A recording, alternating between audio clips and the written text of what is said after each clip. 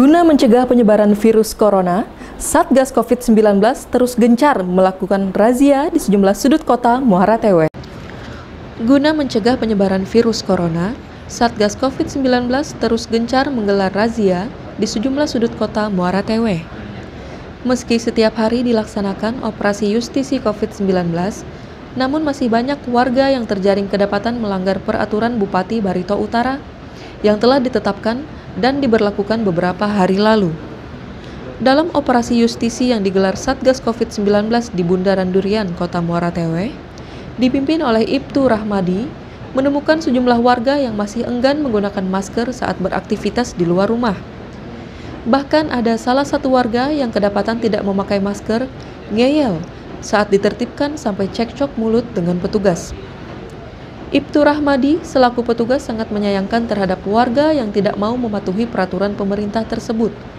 Rahmadi menghimbau kepada warga Barito Utara supaya menaati peraturan bupati. Hal itu semata-mata guna mencegah penyebaran virus yang mematikan tersebut.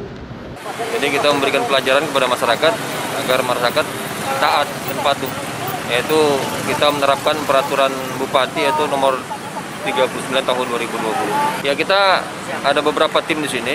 Jadi kita gabungan dari TNI juga dari Satpol PP, kemudian ada juga dari komunitas masyarakat juga yang ikut berperan aktif untuk melaksanakan kegiatan ini. Jadi hampir tiap hari kita bagi pagi, eh, kemudian siang dan malam kegiatan kita.